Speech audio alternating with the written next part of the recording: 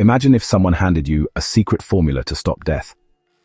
Alfredo Salafia almost did, but with one catch. No one knew how he did it. Until now.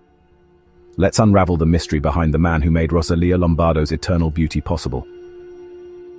Welcome back to Obscura Mysteries, where the secrets of the past refuse to stay buried. In our last episode, we introduced you to Rosalia Lombardo, the Sleeping Beauty. But today we're focusing on the man behind the miracle, Alfredo Salafia, the genius embalmer who somehow stopped time. Think of Salafia as a wizard, but with chemicals instead of a wand. While most embalmers in his time were using standard practices, Salafia had a secret method, a mix of science and alchemy that preserved bodies like nothing the world had seen before. And get this, he didn't share the details with anyone. It was like handing someone the blueprint for immortality, then walking away with the only copy. Researchers today had to piece together the puzzle, and here's what they found.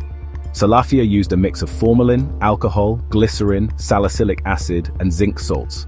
But it wasn't the ingredients that were magical, it was how he combined them.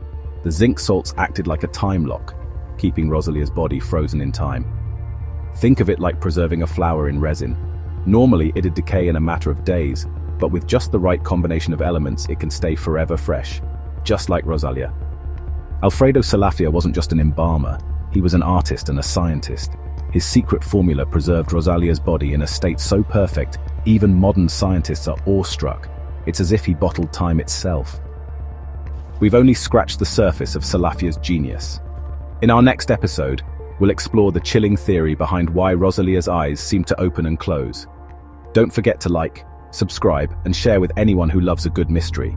You won't want to miss what comes next.